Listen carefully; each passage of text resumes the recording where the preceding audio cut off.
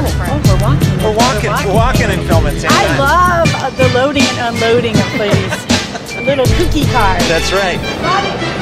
I think they're gonna go with that over there. Batmobile's here. The Munster Koach is here. They're all getting loaded in to the Murphy. This is going to be on display for about a month or so. And we're going to be helping load in today.